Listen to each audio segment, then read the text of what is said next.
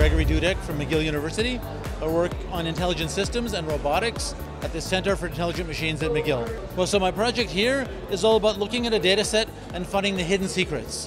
Our demo here is on looking at a crowd from far away and finding where we think people might be standing, where the faces are in a very blurry image, and zooming in and finding those people within that scene and zooming in on them and collecting data.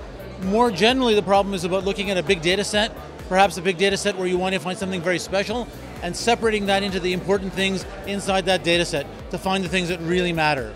So maybe that's phytoplankton in the ocean that you care about, or maybe that's people in a crowd, or maybe that's medical data where you find clusters of people who have some behavior which leads to a disease later on in their life. Well, the value of this kind of work is on looking at big, large sets of data where the data is very confusing and complicated, too much for a person to handle, and finding things within that data set that might not be obvious to a person, whether it's image data or movies or some multi complicated data from a very complicated sensor.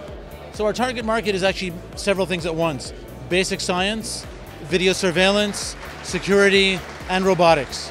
Well, it's a great place because there's a lot of sectors represented here. A lot of sectors in Montreal as well that are doing all kinds of high technology. So it's a great place for us to meet people and make connections.